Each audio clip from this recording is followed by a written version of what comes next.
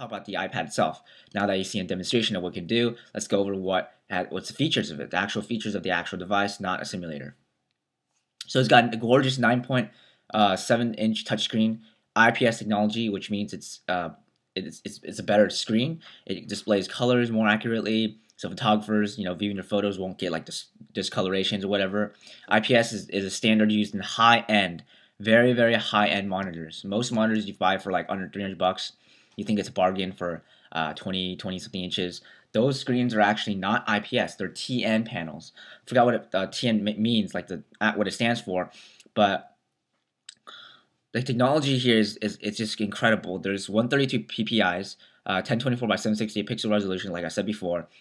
It's LED backlit, um, something that the iPhone, iPod Touch is not. So sometimes um, I hear reports of uh, iPod, iPhone, um, the the screen being having a little bleed. Yeah, it's still using CCFL because it's cheaper and uh, well, you know, um, 1,000 points of touch, like someone said, uh, or, like um, Jobs uh, claimed.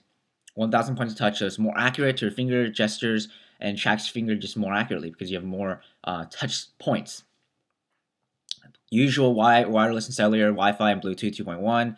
Uh, 3G has the you know 3G stuff. It's also got Edge as well, so it's not just 3G. It's also a modem.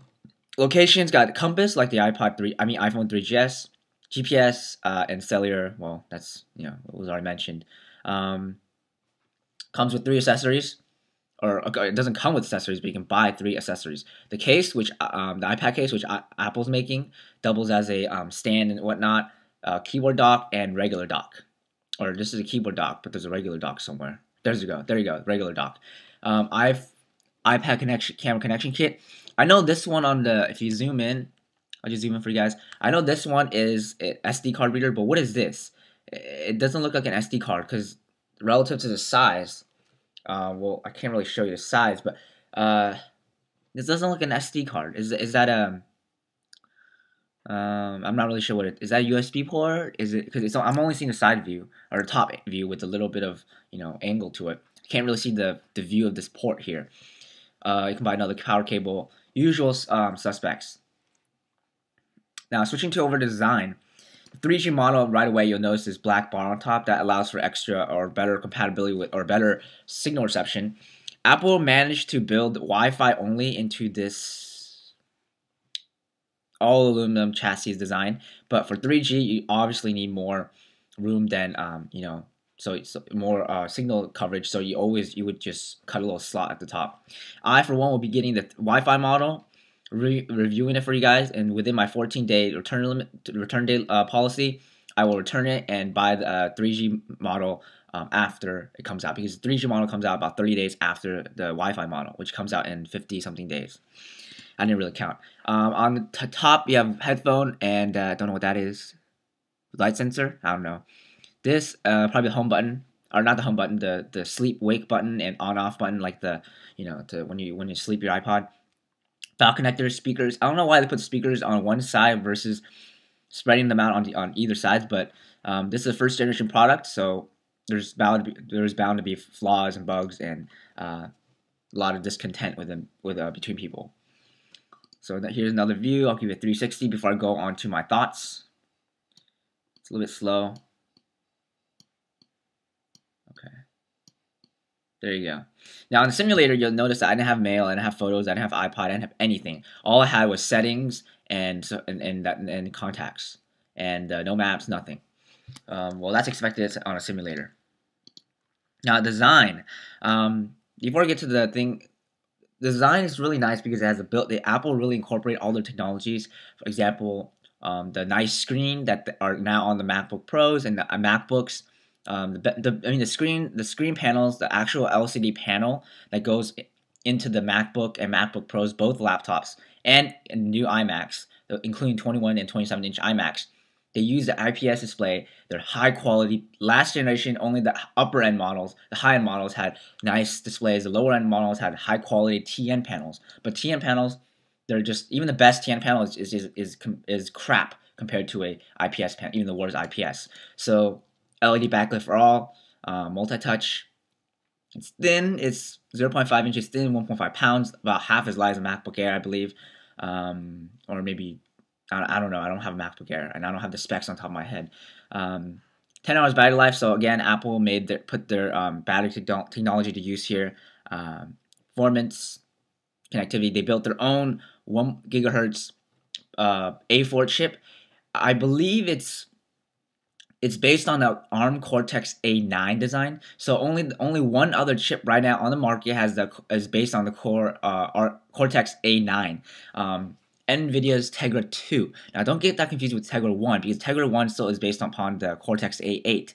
Um, all iPhone, I mean iPhone 3GS and iPod Touch third generation, um, excluding the 8 gigabyte iPod Touch, those are based on the Cortex A, A8 design, A8, A and the number 8. This one's based on A9, and only one other chip, again, is based upon an A9 design, and that's the NVIDIA Tegra 2. Now, um, even Qualcomm Snapdragon is based upon A8, so you'll see better performance here than on uh, Nexus Nexus One. Nexus One actually costs about the same, give or give or take. And also, although you can't make phone call phone calls, you can actually make VoIP phone calls because Apple let the VoIP protocol on the on the uh, SDK slide, so you can use that and build the VoIP connections. Now, if you have 3G and you're paying $30 a month for the unlimited 3, uh, 3G service, you can just use VoIP all your all throughout the day. But you can't make a, there's no multitasking yet, so you can't. Uh, the iPhone has limited multitasking, so it's not like truly uh, non-multitasking. But this one, the iPad, so far we have I haven't seen it, but the demonstrations and rumors, no multitasking. You can't even make a phone call in the middle of an app without exiting the app. And if you have if you get if you launch an application through a phone uh, through the phone call, then you'll lose the, the connection. So moving on to my thoughts, I think I'm approaching my 10 minute limit. Moving on to my thoughts, I believe the iPad is uh, for a first generation product. It's pretty nice. It's much better of a deal to buy than the Nexus One because mainly because it's bigger, better. I mean, Nexus One, the, the touchscreen accuracy is, is is completely garbage. You can draw your finger in a straight line, and and it will be like this sidestepping wavy gesture. Like it, it won't be straight. It will be it look like a like stairs. It's just really wobbly. And uh, while that may not matter for some, when you're typing on a since the Nexus One doesn't have a keyboard and you're typing on the keyboard, it's very important that your finger is sensed wherever you want you put your finger, so it's as accurate as possible. That's what I find with the iPad. Again, data plan is the same as the iPhone. iPhone costs about thirty dollars a month for unlimited data. This one costs thirty dollars as well. You can pay for 250 megabytes um, for 15 bucks. Let's move on to my thoughts again. I'm, I'm digressing, uh, digressing from this. I think the battery technology and the displays and the for on, on this first generation product is really nice. It's not gonna. It's not a. I was actually hoping it would run Mac OS 10, but again, I don't really need something like that on this. I just need something simple that I can just check a bunch of things, uh, which is what the iPad will do. I can browse news, articles, and stuff like that. And it's just a bigger iPad. I mean, a bigger iPod uh, or iPhone. Um, more powerful, better screen, um, bigger screen, and uh, will last longer, right? It will last a month on standby and 10 hours of doing uh, watching video, 10 hours of watching, um, uh, 10 hours of surfing on Wi-Fi and watching videos, um, 140 hours plus on music, according to Jobs himself during an interview. So I think really nice product. You got, if you guys have the 500 bucks and you're or you were um, you have an old iPod Touch or old iPhone and you're looking to upgrade, this would be a nice upgrade. Although you can't, you won't be able to use it as a traditional phone. Thanks for watching, guys, and I'll see you guys um, in the next video. Again, I have a new channel. It's called the iPad Reviewer, so go check that as well. I'll have a link in the description box. Um, it's just youtube.com slash the iPad Reviewer. The iPad Reviewer. Very simple. So thanks for watching. I'll see you guys next time. Bye, guys. Peace.